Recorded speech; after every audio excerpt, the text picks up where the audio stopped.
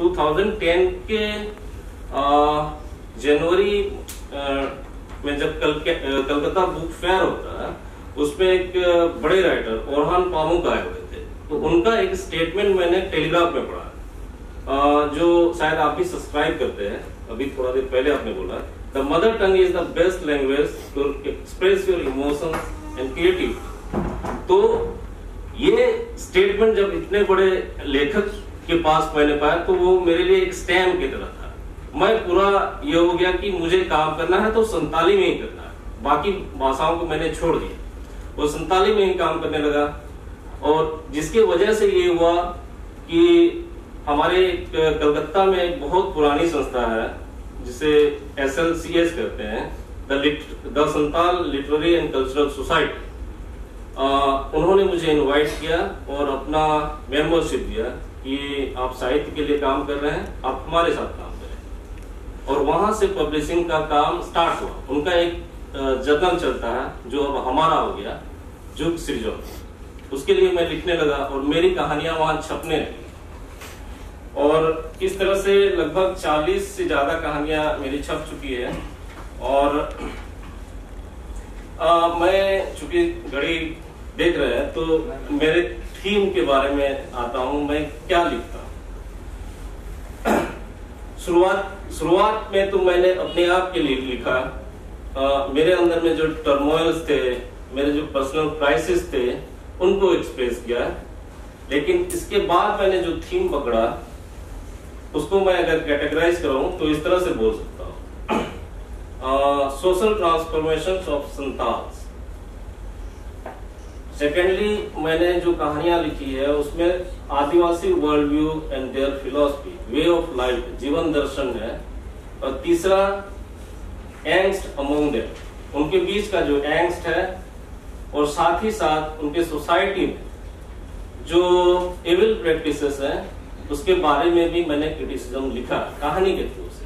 जैसे अल्कोहलिज्म विस्क्राफ्ट वगैरह इसके अलावे मैंने कुछ कहानियों में सोचा आ, जो पीरियड है जो पीरियड अभी चल रहा है जिसका हम ऑब्जर्वेशन कर रहे हैं जिसको हम समझ रहे हैं उसका डॉक्यूमेंटेशन ज़रूरी है। और इसके लिए मैं बाकी सबको भी प्रेरित करता था और इसके अलावे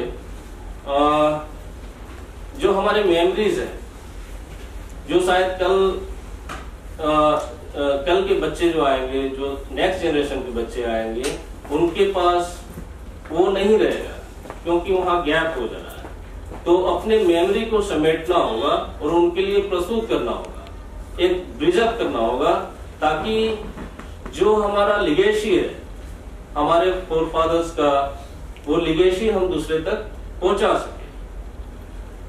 ये चौथा पॉइंट था मेरा लिखने का, और पांचवा और मोस्ट इंपॉर्टेंट पॉइंट ये है to celebrate my own identity my own culture and tradition मैं इसलिए भी लिखता हूँ ताकि मैं अपने कल्चर को न न सिर्फ़ खुद जीवो उसको सेलिब्रेट करो कम्युनिटी में और बाकी सब लोग भी उसको देखें और सेलिब्रेट करें कि we are not the inferior people तो ये सब मेरी कहानियों की मूल बातें हैं। अगर समय का इजाज़त है तो एक दो कहानी का मैं थोड़ा संक्षिप्त बता पढ़ के तो समझ में नहीं आएगा मैं थोड़ा बताता हूँ। कोई हिस्सा पढ़ दीजिए कोई हिस्सा उसका पढ़ और उसके बाद में उसमें क्या है वो इस किताब का पहला ये कहानी ये इलस्ट्रेशन के साथ है, इसलिए मैं दिखाना चाह रहा हूँ। संताली में इसका मैंने टाइटल दिया है, डांगरा मजी तो अंग्रेज़ी में इसको बोल सकते हैं कि केटल हेडमैन मतलब डांगरा हो गया बैल और मंझी हो गया जो हेडमैन है। तो मैंने दो वर्ड को कॉइन किया है इसमें।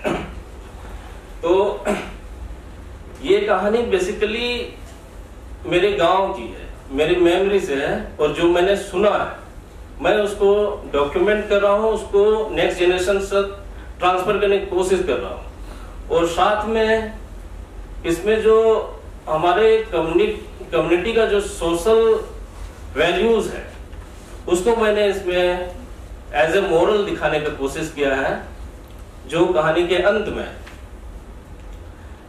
तो शुरू में हमारा गाँव किस तरह से बना और यहाँ कैसे लोग आए क्लैंस कैसे बने और क्या क्या टबूज थे और डिफरेंट पीपल के बीच में इंटरमिंगलिंग कैसे हुआ आ, इसके बारे में मैंने लिखा है इसमें और मैं इंटरेस्टिंग प्रोटैगनिस्ट के बारे में बता बताना चाहूँगा। इसमें एक्चुअली जो दो प्रोटैगनिस्ट हैं, वो एक मेरे दादाजी हैं और एक दूसरे मेरे नाना जी और दोनों सेम एज के थे और उन लोगों ने अपने, जब वो ग्रो अप हो रहे थे तो क्या क्या सीखा? किस तरह से उनका परवरिश हुआ? और किस तरह से कम्युनिटी का वैल्यूज़ उनमें आया ये सब मैंने दिखाया है। और जब उनपे रिस्पॉन्सिबिलिटी आती है गाँव कम्युनिटी को एक रास्ता दिखाने का तो किस तरह डिसीज़न लेते हैं। एक्चुअली इसी आ, सब मुद्दों पे मेरा ये कहानी बेस्ड है। तो लास्ट में कहानी ये दो जन है प्लस में और एक जन है जो गरीब है। जिस, जिसके नाम पे ये कहानी का टाइटल है। वो गरीब है, खाना नहीं जुट रहा तो उसे चोरी की नौबत आ जाती है। तो वो एक जोड़ा गाय बैल को चोरी करके बेचने जा रहा था। किंतु वो पकड़ा जाता है। पकड़ा जाता है और विलेज काउंसिल्स होता है और हम लोगों में मोड़े मोड़े मंझी का एक सिस्टम है, जिसमें कोई बड़ा क्राइम होता है तो पाँच गाँव के हेडमैन जमा होते हैं और उसका विचार करते हैं। तो उस समय उन लोगों को लगा कि ये तो बड़ा क्राइम है तो बहुत सारे लोग जमा हुए, हज़ारों की संख्या में। और फैसला सुनाने का जो जिम्मेवारी था, वो दो जन पे था। जो एक मेरे दादाजी थे, एक जो मेरे नाना जी थे। मेरे नाना जी हेडमैन हुआ करते थे और नाना जी दादाजी उसके ये होते थे। असिस्टेंट होते थे। तो जो पब्लिक है, वहाँ जो गैदर हुए हैं उन सबके मन में ये चल रहा था, एक गुस्सा था कि चोरी किया है, इसको सख्त से सख्त पनिशमेंट किया जाए, और ताकि अगला कोई करे नहीं तो कोई मतलब अनरियलिस्टिक लोग पनिशमेंट का बात करते हैं। कोई बोलता हज़ार रुपया, कोई दो हज़ार रुपया उस जमाने में, जो कि पॉसिबल नहीं, या फिर गाँव से निकालो। तो जब डिसीज़न लेने की बारी आई तो आ, मेरे नाना जी ने दादाजी को क्यों दिया कि आप मेरे असिस्टेंट हो आप उसको डिसाइड करो कि क्या करोगे। तो उन्होंने एक लाइन बोला अपना जो फैसला सुनाया उसमें एक लाइन बोला कि ये जो आदमी है उसका नाम था मंझी उसका लिटरली नाम था मंझी, जो चोरी किया था। कि मंझी हमें लोग के बीच का भाई है। हमें जानना चाहिए कि उसने चोरी क्यों की। और जहाँ तक मुझे पता चला है कि चोरी उसने अपने पेट को पालने के लिए किया तो ये जो हम लोग डिमांड कर रहे हैं कि इसे सख्त से सख्त सजा दी जाए तो ये जस्टिस नहीं है। हम इसे सजा हम इसे सजा देंगे लेकिन उस तरह से नहीं। क्योंकि अगर हमारा बच्चा अगर हमारे शरीर में गंदा करता है पोटी करता है तो इसका ये मतलब नहीं है कि हम अपने अंग को काट के फेंक दें। ऐसा हम करते नहीं। इसलिए इसको ऐसा सजा दिया जाए जो रियलिस्टिक हो ये दे और आ, और माफ़ी मांगे।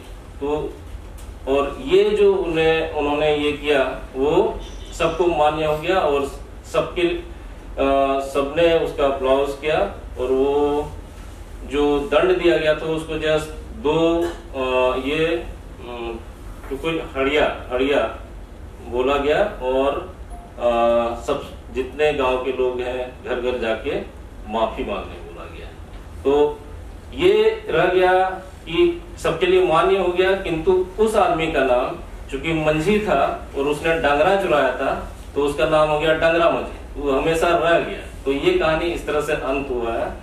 आ, तो इस तरह से कहानियाँ हैं मेरी। और जो हमारे सोशल इशू को छूती है और मैंने उन्हें लिखने इंटरेस्टिंग तरीके से प्रस्तुत करने की कोशिश किया है प्रत्येक गेम में। और कुछ ऐसा मॉरल उसमें दिखाने का कोशिश किया जाए किया है कि जो सिर्फ़ हमारे सोसाइटी में नहीं जो जिसमें एक यूनिवर्सल अपील हो क्योंकि जो इमोशंस है वो यूनिवर्सल है। तो हमारे कहानियों में जो भी एलिमेंट होगी जो भी इमोशंस होगा वो यूनिवर्सल होगा। तो ये मैं आ, मेरा बिलीफ ऐसा ही है। और इसीलिए भी मैं संताली में ही लिखना चाहता हूँ कि अगर मैं उसमें अपील होंगे तो यूनिवर्सल हो जाएँगे। बस ये बोल करके मैं अपना बात खत्म करना चाहता हूँ।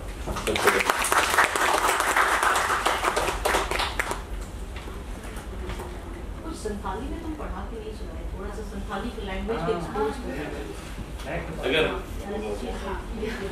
अच्छा आ, इस गाने के बारे में नहीं एक मैंने बहुत इंटरेस्टिंग गाने लिखी थी जो आईवी मैम को भी बहुत पसंद आता है। वो है संताली में बोलते हैं आतू टोला दोंग सुबह। तो आतू तो गाँव हो गया टोला टोला हो गया। दोंग होता है एक डांस का फॉर्म है जो हमेशा शादी में किया जाता है और वो फुल ऑफ़ मस्ती होता है। फुल ऑफ़ मस्ती होता है उसमें लड़के और लड़कियाँ नाचती हैं ड्रम बीट पे और उसका आलम ही कुछ और है। क्योंकि हम बिलीव करते हैं कि आदिवासी, चाहे संताल का जो जो फिलोसफी है, जो जीवन दर्शन है, वो रस्क में टिका हुआ है। यानी कि हैप्पीनेस हम अपने आप को कैसे हैप्पी रखें? उसमें टिका हुआ है। तो इस कहानी में मैंने कुछ गाना को जोड़ा है, जो दूसरे से मैंने बोरो किया है। तो मैं उस सब गाना को पढ़ के सुना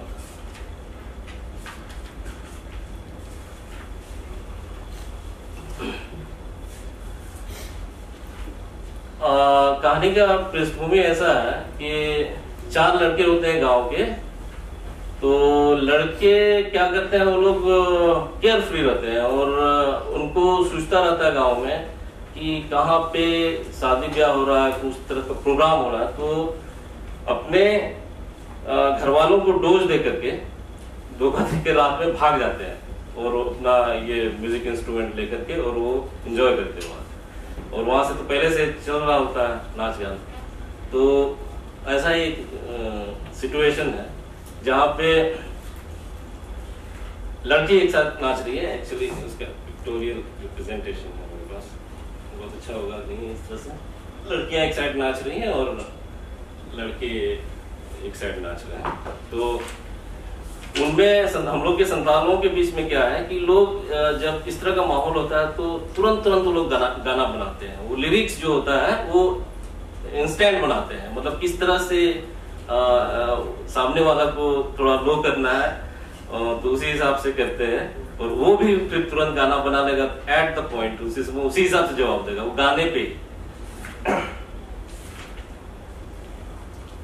Ninku niding niding mode buru parom te gating ma dangoen bagi aikan आलू से हम आज छुटो आलू से हम हुलस बंगा जागेन हिजू से नौ दुलड़िया खुलसा रोड लंदा नालुम बगी ये एक्चुअली गाना है मैं गा नहीं पाता हूँ तो तो एक्चुअली इसका लाइन ऐसा है लड़की बोल रही है लड़की बोल रही है कि हमको तो शादी करके पाँच पर्वत के पार लिया जा रहा है। हम्म। तो मेरा जो प्रिय है वो तो कुआरा ही रह जाएगा। आ, तो उसको बोलता है कि तो उसमें निराश हताश होने की ज़रूरत नहीं है। हम बीच बीच में आएँगे इसलिए खुश रहो हम्म।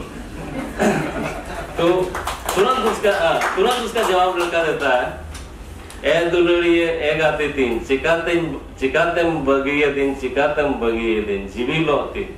हरा तुरा गे बुलो दिन आस भरोसा करते दुलड़ के दिन आधे पासे डाम डाई कतम बगीर तो वो बोलता है कि ये प्रिय ये प्रिय मुझे छोड़ के क्यों जा रहे हो?